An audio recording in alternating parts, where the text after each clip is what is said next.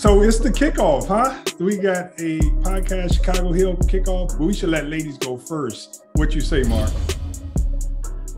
Ladies first, white guy last. Yeah, I agree with that. You know. Ladies first. Well, I'm excited. This is the Chicago Heal podcast with La Shawn K. Ford. And we've got with us Mark Pisakovich. Did I say it right, Mark? See, starting out perfect, perfect. I'm so excited. Ooh, I can't wait. He's such a nice guy. He told you, you said it, he gave you a thumbs up and you said it wrong. Oh, that's so nice. That's mighty white of you, Mark. I, I, mean, with my last name, it's kind of hard to get it. Uh, you know, it's always wrong, no matter what. It's like it's always too hot or too cold. It's just never but, right, right? But you know what, Mark? I appreciate that. I think that's what society should be like. It shouldn't be gotcha you're wrong. You know, and, and then we'll find a way to say your name right, but you don't have to, um, you didn't have to tell her, nope, you got it wrong. And that's that's the way we should be because she tried. And um, yeah, Meleika, that was very nice of you to even try. I think he appreciated uh, absolutely. I think, you know, at least uh, Representative Ford was born with one great thing. It's four, le- four letter last name. That's uh, it's lucky. I, I well, he's going to be Mark from com- here on out. When I came to this country, I had to learn how to spell my last name in English. It took me like a year. Yeah. Wow. So, so Meleika, finish telling us who you are and where you're from. Who I am, I'm always more interested in who everyone else is, but I am Meleika. I am out of Evanston and started working with Rep Ford, um, what has it been like two years now? It's yeah. been about that length of time about time. two years. Yeah. Uh, met you 2019, uh, worked on legislation together, um, pre enslavement, Black history. And I was like, let me know when you want to do anything else. Wait, you said enslavement? What, what you say? Pre-enslavement. Pre-enslavement. I can't wait. I know we're gonna get into that one day on this podcast. yes, yeah. yes. But so, I don't understand. I mean, you're pretty light skinned. You got fine hair and all that. You know, you you would be. Uh... I'm not light skinned. I'm brown skinned. Thank you. Um, I think we just got into black politics inadvertently. Mark, have you ever heard these conversations? The light skin, uh, brown skin, dark yes, skin? and I try to find a corner or behind a couch and hide as quickly as I can. okay. when when my black friends talk shade of skin color, I know uh, situation could become volatile, and I just I just uh, try to hide. So you guys don't have different shades, uh, Mark. You white people, y'all only got one shade. I mean, you, you what, what you got one shade? It's called privileged Caucasian. That's what we're gonna be talking about too. That white. if it was a, if it was a paint store, if it was at the paint store, that'd be the name of the color. That's a good privilege one. white. Yeah. privilege white. You know what? Mm, I hmm, think, hey Mark, hey Mark, let's let's Meleika, y'all, let's buy a horse and name it Privilege White. Privilege Ooh. White coming around the turn. you have people understand he better not win. He better not win. and, and, and, then we'd have to um, uh, run it against Black Lives Matter, right? Right. Oh, yeah. oh my God. That, that, would be good. Black Lives Matter, like, white. Yes. Go, go, go, Is that a horse race or the mayoral race in Chicago? hey, you know what? Is you probably can't tell the difference. But um, Meleika, that was great. It's, it's, so nice to kick off this um, Chicago Heal podcast. I'm La Shawn Ford, and um, and I'm state rep. I've been state rep now for 15 years, and it's really a privilege to have people like you and um, Mark uh, to work together and to help me um, be a, a legislator. You know, I mean, if you don't have people that you could count on and listen to and they have patience understanding the process, it's very difficult to be a legislator and get things done. And so I just say that the fact that I have the privilege to um, have you all as advisors is really great because one, there are a lot of people that want things done and they want it done now. And they don't understand that it's a process to get things done. And I've talked to you, Malik, and Mark about things that you really want now. But you guys say, you know what, this may not be the right time. We still have a lot of work to do and we're going to continue to work on it to get it where it's at. We're going to massage the people, educate the people, and maybe it'll be right next year, and maybe it won't. And for that, I just want to say thank you both. And I think that we can have a great podcast that will talk politics, that will talk life, that will talk race. I was going to say racism, but that we'll talk about race. And, and that's what we want. If we don't have the a platform where people could talk freely and learn from one another, then we can't heal as a nation. And so, with that said, I'm, I'm grateful to be on with you all, and, and we're going to turn it over to Mark. Thank you. Uh, and uh, I am Mark Peysakhovich. You can pronounce it however you want. I've been called a lot worse. Uh, and um, I am, uh, I live in Oak Park. I'm a lobbyist and consultant. Um, I work primarily on issues in Springfield. Uh, and I guess within the context of this show, maybe um, I am a, uh, an immigrant, a refugee who came here from another country who I think has a little bit more empathy than your uh, regular American born white guy. Uh, and, um, uh, you know, maybe I'll get into that at some point uh, in greater detail. But for now, I guess I would just say, and, and you guys are have heard me say before, I guess uh, I would, uh, I have a name for people like myself. It's WM squared. Uh, that stands for well-meaning white man. Uh, and um, with that, an acknowledgement that well-meaning doesn't always mean understanding, knowing, or right. Uh, and so I look forward to this dialogue. It's going to be great. I, you know, you guys, we this is the first one, but you talk about healing. You know, we definitely should definitely send out our condolences to all those suffering from mental health struggles. You know, just recently there was a believed to be a suicide of um, the former, or not former, but Miss America. Miss, is that right? Miss USA. Miss USA, mm-hmm. and you know, from New York. Um, she supposedly fell out of a high-rise building. You know, that's a perfect sign that mental health is a serious problem in the world. I mean, beautiful lady, a lot, a lot going for her, but there's obviously was a struggle in her life. And you know, I, I think that we should all be sensitive to the fact that people may have some things going on in their life and not ignore the fact that people are human. I think that we could be so hard on people, hard on individuals, and and that that's that's tough. We have to be aware, and and the more and more we see people dying of suicide, it should be a constant reminder that we should be kind to our brothers and sisters. And I don't want to yeah. uh, interrupt too much, but I got to cut in with the standard, but still very important. If you are, or somebody you know is contemplating suicide, uh, you're not wrong and you're okay and you can be helped. And the number to call is 1 800 273 8255, the National Suicide Prevention Hotline. 1 800 273 8255. And you know, Cheslie, uh, Miss USA, when you go back and you look at her her videos, her posts, you would have never thought in a million years that she was in any sort of pain. I mean, she just came off just so vibrant and, and full of energy and life.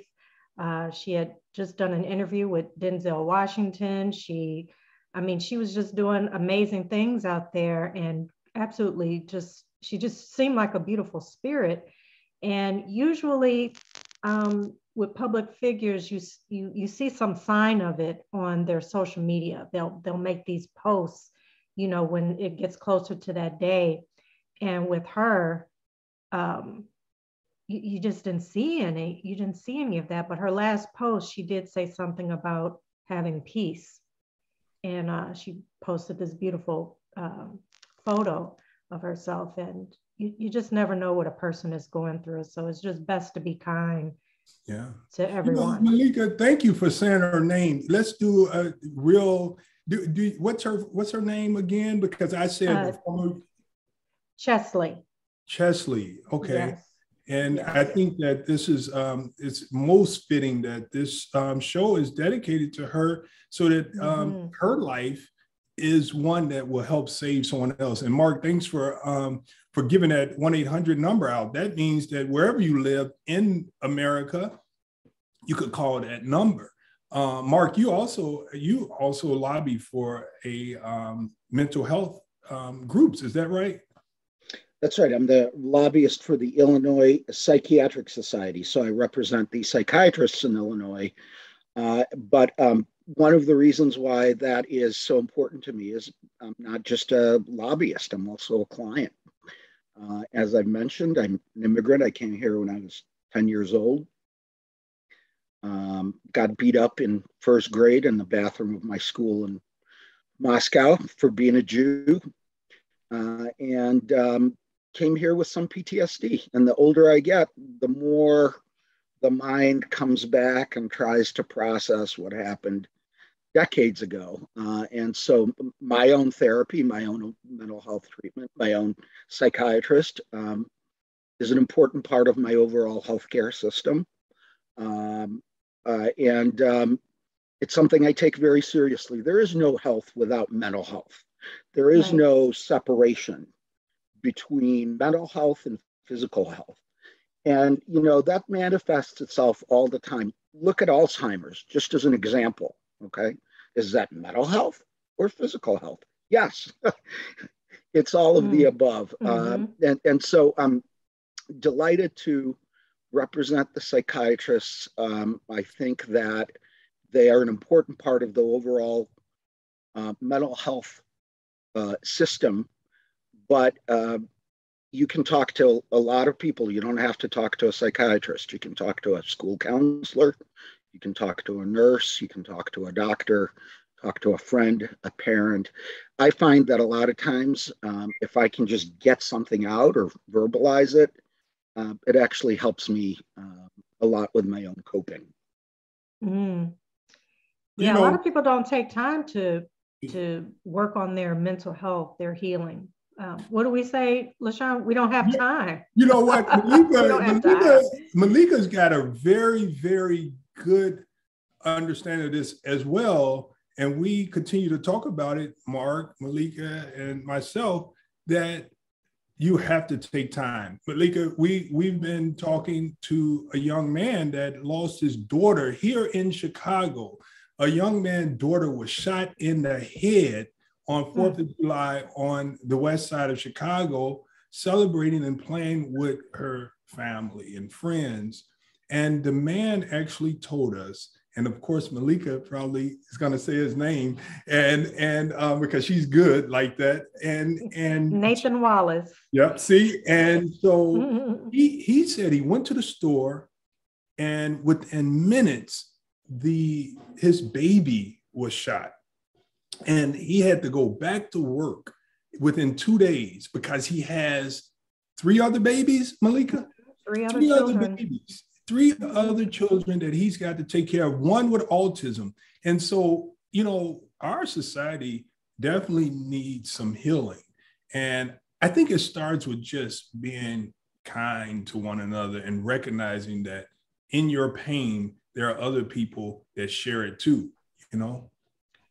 Yes, I, I couldn't believe in that story that his employer, he was working two jobs at the time that it happened, that his employer would not give him paid bereavement time. I mean, his daughter was just murdered, and two days later, you make him come to work, and he had to go to work because he's got three other children. So he's he's the he's he's the the the example of not having time to heal and get that help and he needs it he definitely needs it i mean that's like a, a, a hole ripped in your soul you know and he, he needs he needs I mean, to talk right. to him, but he has to keep going. He has to look, keep going. He how about stay in motion and survive? His family. What about the sisters and and the um, the mother and everyone in the community mm-hmm. saw the uh, tragedy play out? The whole community is experiencing trauma, and yes. you know how do we deal with this?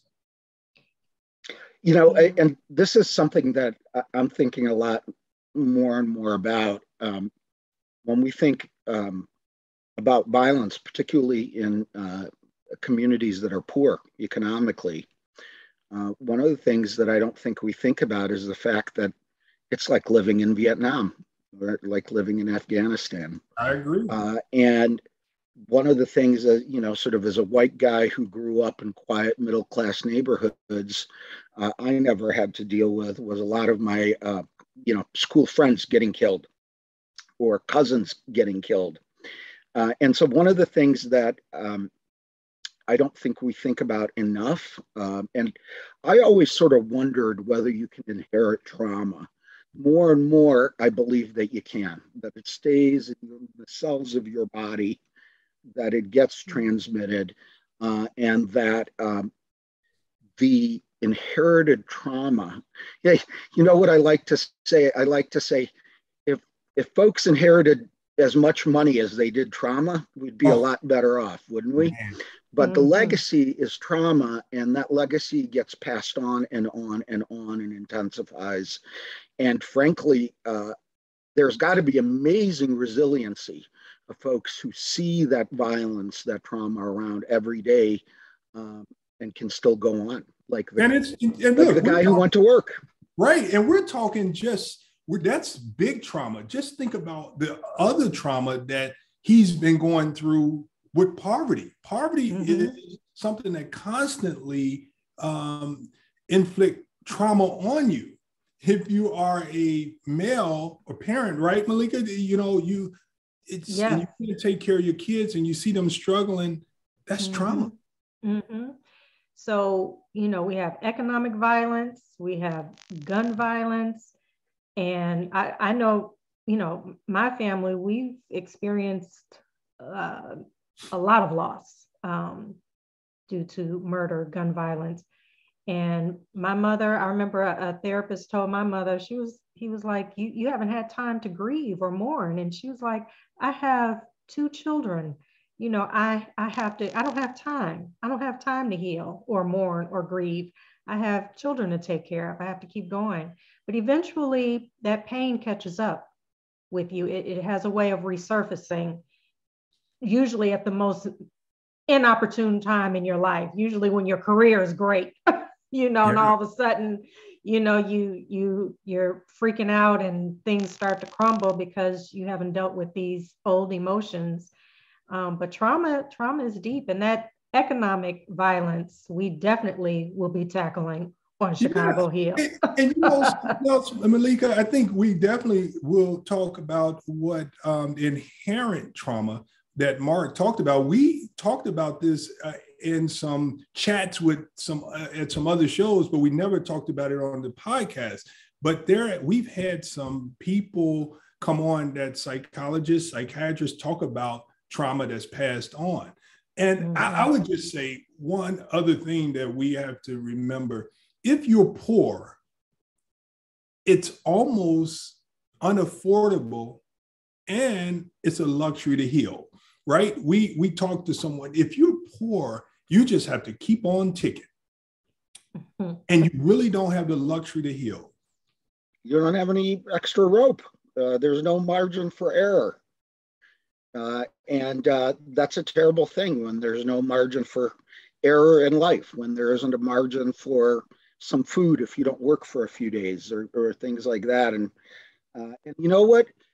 I, I, think part of the problem is, and uh, you know, maybe at some point we'll have to talk about solutions and not just problems, but I think part of the problem is that there's sort of fewer and fewer people in the middle, right? You're, you're either uh, experiencing trauma and have very little to uh, fall back on, or you're wealthy and your trauma is of a, of a, different sort. Now, just because you're wealthy doesn't mean uh, you're inherently less likely to have mental health issues, but you are inherently less likely, probably, to have inherited uh, the genetic trauma of people who watched their relatives being whipped and lynched and beaten and enslaved.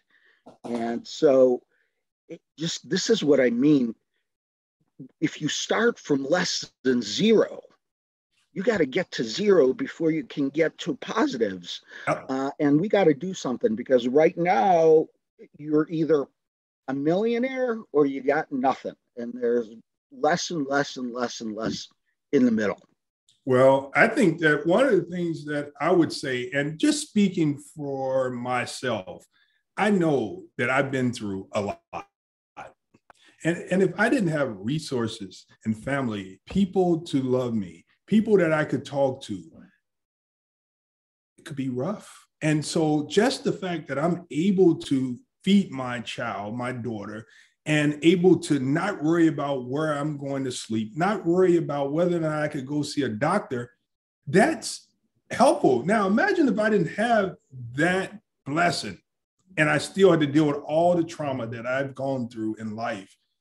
That's that short rope that you're talking about. Well, and and um, I, I actually wonder about you, uh, Representative Ford, because uh, think resiliency should be your middle name. I mean, if there was ever a guy who was beaten down by life, whose uh, birth uh, mother uh, has been, had been uh, a lifelong uh, drug addict. Yeah. Raised by grandmother, and one of the things that I love about you is that you and I are both open about talking um, where our trauma comes from and how we're dealing with it. But, uh, you know, when I talk about you, uh, I've been a proud constituent for a long time, by the way, not for much longer, but I assume we'll still stay friends. Um, but if there was ever a guy who could have been beaten down by life. And even now, you're a state representative, you get accolades and you get praise, but I'm sure every other, uh, you know, post on Facebook can be acerbic, can be critical. Uh, you always got people who are saying good things and bad things, and you got to deal with both. How do you deal with a, what are you what are the tools that you I mean I know now you're a state rep you got everything you need more or less um, although anybody who thinks being a state rep makes you rich is uh, is wrong. It's not a bad gig, but it's definitely not for millionaires either. Um, but how do you deal with sort of what life has dealt you uh, and the, the, the sort of the offenses against you every day, as it were? Yeah, personal offenses, personal attacks against my family, friends. You know, even and I never told you to, but the man, I never met my um, biological father, but the man that actually was the man in my life actually committed suicide too. He slit his wrist, and that was during um, like in right when I got elected. So that's trauma. We, our family, the man that we love actually committed suicide, and families will often wonder could we have done something to help him with his struggles? And, you know, how do I deal with it? I, I stay prayerful and I understand every day I learn life better and better. I know no good deed goes unpunished. And there's no doubt I will um, be grateful for the opportunity to breathe again and to try to be more better as a person. You know, no matter what you do to me, I'm gonna um, turn the cheek like Dr. King and just keep on um, ticking and love you no matter what. I think that's the only way. I don't let what a person is doing to me fester in my soul and spirit because that's poison, you know. And so I think that we're about to wrap up too. And I know Meleika, you guys and Mark, I hope you give that number again because it's a powerful number. And I hope that we could um, continue to do this podcast and um, be a friend to many as we share our stories and do what we can to um, be a part of a good society. Most definitely. The National Suicide Prevention Lifeline, 1 800 273 8255. Uh, use it if you need it. Uh, you're not a bad person if you do. Thanks for having me with you guys. So um, I'm looking forward to great conversations. Yes, yes. And and I wanted to add, I have seen Rep Ford in hearings go up against some very evil people who are not about equality, equity, inclusiveness, diversity. And I, I look at him in amazement because I'm like, how do you deal with these people and still work with them and still have a great relationship with them? And you know to their core that they don't like you. And so I, have learned. I have learned. You're absolutely right. That's okay. It's not about you liking me. I'm gonna make you love me. right, right, right, right. You um, you fight for what's right, and I, I truly believe the good ends up winning. Yeah. So in the end, yeah. That's it. That's all, folks. See you guys next time. All right.